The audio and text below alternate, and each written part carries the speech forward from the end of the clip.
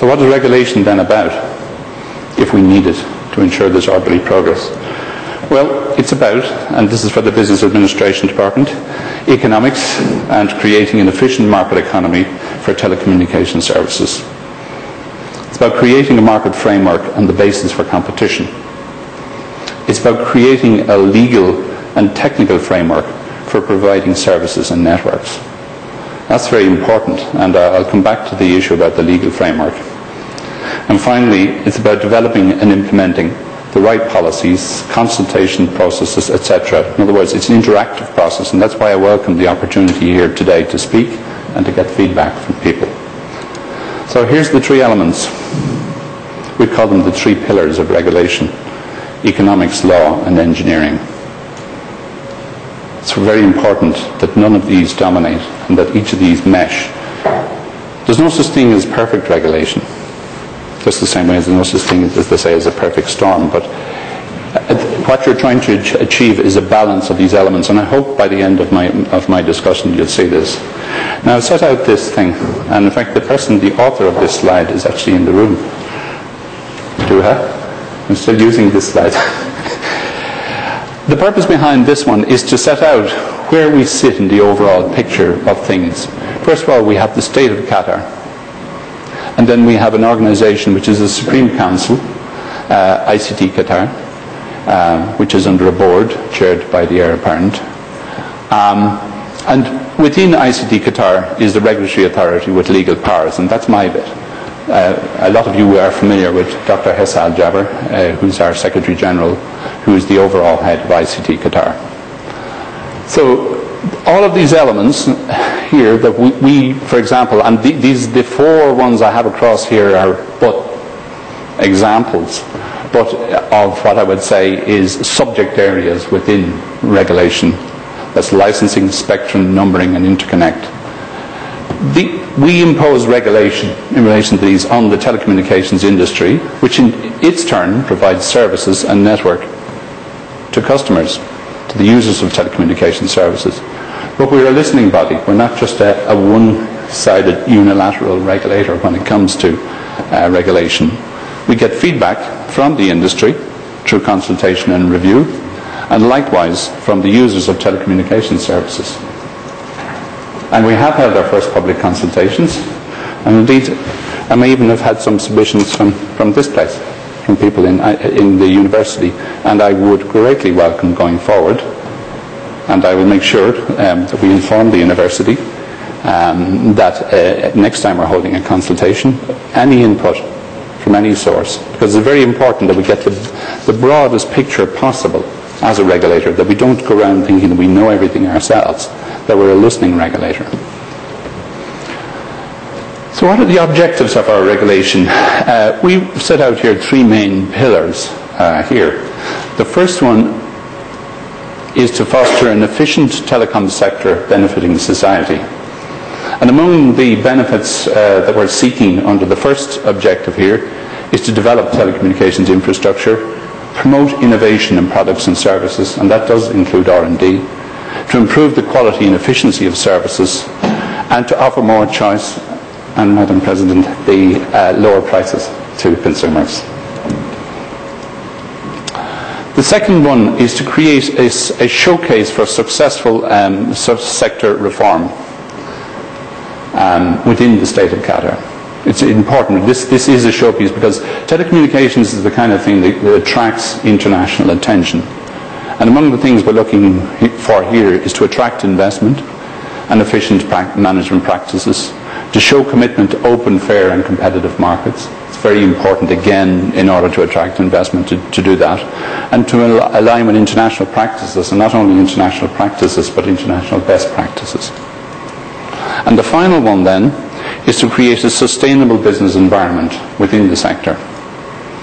And that is to manage the impact of liberalisation on all parties and to ensure a competitive but sustainable marketplace. I'll come back to this thing about sustainability. It's quite important because we may have taken some slightly different policy directions, for example, to Bahrain.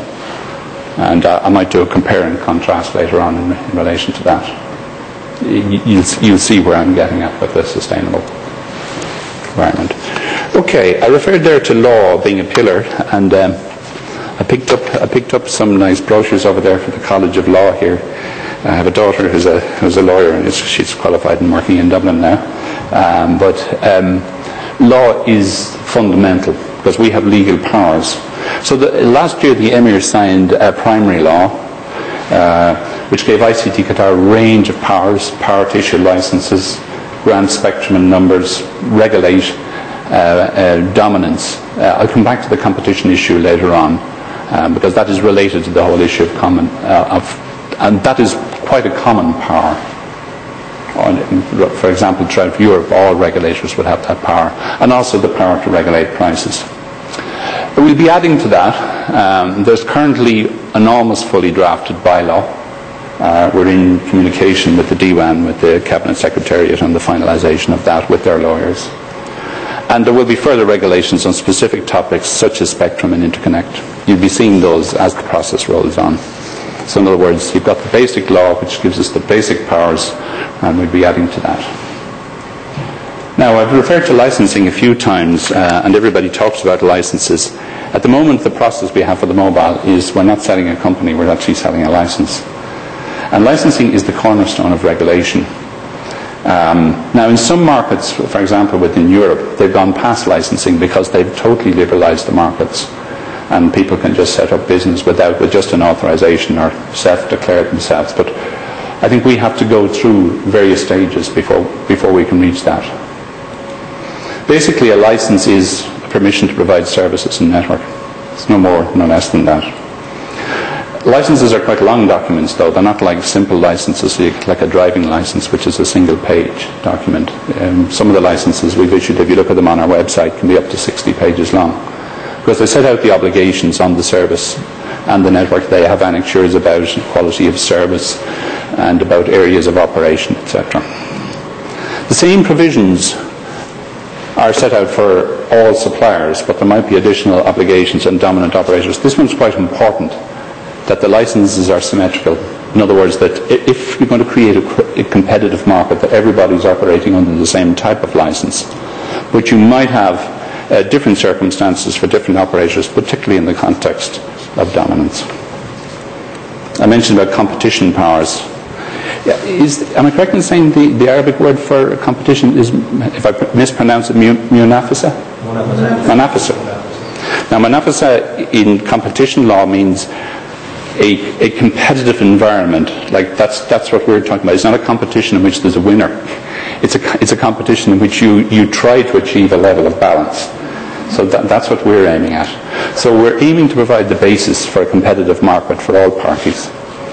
There is this common dominance and designation and dominance designation. The reason why you have this is that it is generally accepted that some parties have so much market power that the normal rules of competition can't apply and that you have to have extra rules.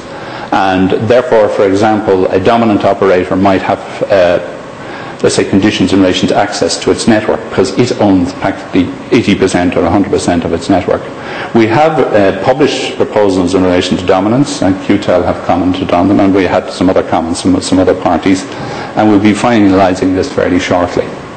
It's not something for operators to be afraid of it's common again. It's, it's right throughout Europe. It's, it, it's a common it's, a common thing. And normally, when you declare dominant, uh, you're, you're declaring them to be dominant in a particular market, so that over time, for example, as the markets develop, QTEL might be dominant in some markets but not in others as competition takes hold. It, it, this again is a common feature. So there are obligations on dominant operators, such as the ones I've mentioned already about access and interconnect obligations, and for example, retail and wholesale pricing measures. I'll come on to the vexed area of interconnect later, but basically within the uh, telecoms industry, there's a lot of buying off each other. There's a lot of wholesaling. There's a lot of, for example, uh, operator 2 might want to buy certain services or certain access off QTEL. And if QTEL is dominant, then it, it can control the prices. So that's, that's the real reason for this. There's also powers to prevent abuse, such as fixing of prices and discrimination against other parties. Uh, I won't dwell on those. We're hoping these won't even happen here, but we have the powers to deal with them. And finally, there is merger control. That is, if two entities wanted to form one entity, in other words, if two companies wanted to come together, then uh, within the telecommunications area, then ICT would have to approve it. And we would look at that from the, in the context of whether or not there would be an SLC, a significant lessening of competition. That is the normal rule that's applied. Now we're on to Professor Mazen's favourite subject, spectrum. Uh,